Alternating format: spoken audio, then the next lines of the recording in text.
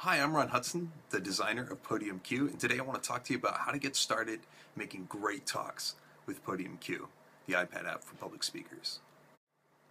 So first off, let's open up Podium Cue, and I'm going to start a new talk here, and let's call it Quick Start 1.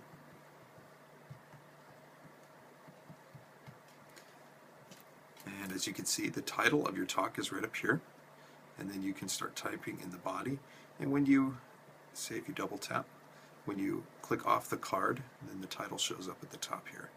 So you can double tap a card to get back into edit mode. And I'm going to start by saying that I'm going to do an intro.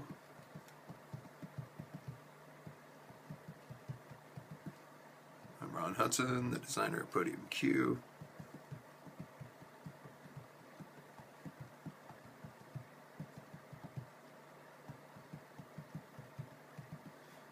how to give great talks using Podium Cue. Now, to make my next card, I'm going to just tap this plus here, and it's going to make another card, taking me right to the title. Now, the next thing I want to talk about is bullet points. So I'll put that right in the title up here, and when I click down here, then I can go ahead and fill out this one. I want to say be concise, and I can't spell, so I can fix that. Um, too much text makes cards useless. Okay.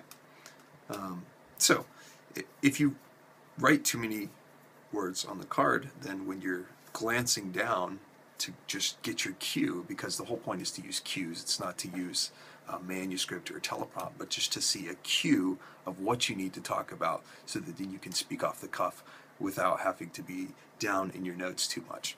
So say if I was going to give this as a talk, I would um, probably tell a story here. Um, 99 cards. Okay, and this is a great place for me to show you how to do story cards. So let me type this in real quick and we'll speed it up with the magic of videos. And to make a card a story card, all you have to do is tap the card, and we'll go back into edit mode because that's where we normally do it. And when a card is highlighted, you can see that around the edges it has this white line. So anywhere you touch, if you're editing the card, which means the, the cursor is in the middle, then you have to tap on the edge of the card to select it. Um, if a card's not being edited, you can just tap anywhere and it will highlight it or unhighlight it. When you highlight a card, then up here at the top you get these, these buttons, intro, story, and main. And these buttons are really the key to controlling Podium Cue and setting up the structure of your talk. So this is going to be the beginning of a story. So I'm going to make it a story card. So all I do is make sure it's highlighted, the card that I want, or cards, plural, that I want to make story card. Then I just tap the story button. And it's going to change it blue, which is going to cue me that this is a story that I want to tell, or an illustration. Um, sometimes I'll use this for quotes or other things, but I know that they're illustrations. And so they're going to be things that I'm either going to read or I'm going to walk away from. And it's pretty easy to tell because it'll be in quotation marks or something like that. Okay, so this is a story and you can see it changes here. And then to unselect all the cards, just tap anywhere in the black space. Usually right here is a good spot um, between the keyboard or when the keyboard's down, you can select multiple cards and just tap anywhere else outside of the cards and you can unselect everything, which brings up your other buttons to get to your talks and your timer which we'll talk about in another video. Okay, now I've got my story cards finished. So I have three story cards here, and I want to get to the main point now. Um, so what I'm going to do is I'm going to add another card. So I can just tap the plus. I just selected the card and tap the plus, and then I'm going to talk about my main point. My main point is be concise. Okay, and using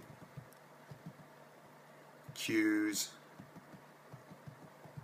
prevents post-talk blues. Yeah, that's a great little line there, huh? and then um, I want to say, if I don't, I don't know it well enough, they won't They won't hear it well enough. Now, as you can see with the wordsmithing here, I've crafted these incredibly memorable statements um, for my talk. So using cues prevents post-talk blues, and I don't. If I don't know it well enough, then they won't hear it well enough. So what I would do here, then, this is going to be like a main point that I'm going to work towards. If I'm giving this as a talk, then I'm going to tap this card to select it, and I'm going to set it as a main point. And what you'll see is the card moves down then to the next row, and this is on purpose. You end up with a row of white and blue cards and then a row of red cards. If I created another card here, it would be a red card. And I could continue on with hitting the main point. My next thing I wanted to talk about was planning. And so now I make a new intro card. And the way you do that is um, really simple. The same way we did that. Say this is going to be my next one, so I'm going to do planning and using stories is a powerful way to talk to your audience. So this is introing a whole new idea. So what I would do then is select this card and hit intro. And that moves it to the next line. And then I would continue on adding cards and writing my talk, making sure that I'm using nice keywords in the header that will show up in the footer, and then finish out my talk. So um, this is how to get started kind of writing your talk. Um, check out video number two and you can see how I use it when I'm speaking. For more info, you can check us out on podiumproapps.com. That's podiumproapp.com or podiumcue.com. And you can follow me on Twitter at Pastor Hudson, and we're also at PodiumCue. Um, so you can find us all over the place. Please connect with us. We'd love to hear how you're using Podium Cue and help you out in any way we can to be a better speaker and to communicate what you're passionate about with your audience.